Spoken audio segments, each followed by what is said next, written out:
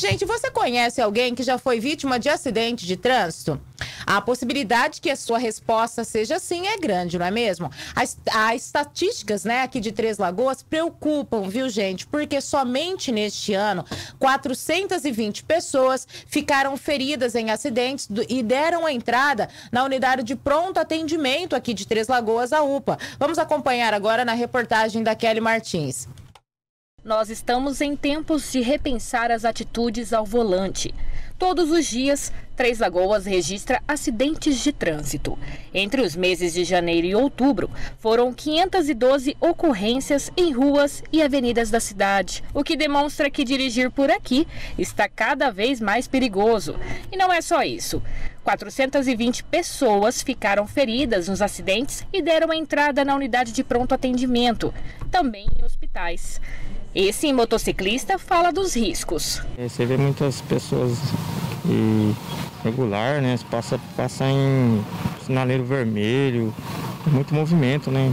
Então acho que tinha que melhorar mais um pouquinho para as lagoas por esse lado aí, né? Tem muita imprudência. Muita imprudência, bastante, hein? Além de manter a atenção com o próprio veículo, é necessário que o motorista fique bem atento com o outro condutor que está na pista. Todo cuidado ainda é pouco. Somente neste ano, 11 pessoas morreram vítimas de acidentes de trânsito em Três Lagoas. Todas são do sexo masculino. E um dos motoristas não tinha habilitação. O mês de outubro encerrou com 54 acidentes. Três Lagoas continua chamando a atenção na quantidade de acidentes e por estar na terceira posição do ranking no estado. Dos 54 acidentes registrados, seis pessoas ficaram feridas e uma vítima ainda continua internada no hospital.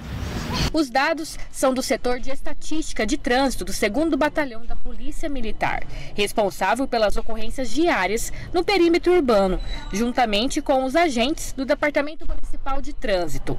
A imprudência é a principal causa, como aponta o coordenador do setor. A causa é a imprudência. A sinalização, considerando que as vias que têm muito acidente, é por exemplo a Avenida Olinto Mancini, que é uma das avenidas mais bem sinalizadas da cidade, talvez a mais bem sinalizada, espaçosa, com ciclofaixa e mesmo assim é uma das primeiras em acidente. De acordo com as estatísticas do trânsito, 60% dos acidentes registrados em Três Lagoas envolvem motos. Os dados apontam também que 60% dos acidentes são durante o dia, 30% ocorrem em cruzamentos, 21% colisão lateral, 16% colisão traseira.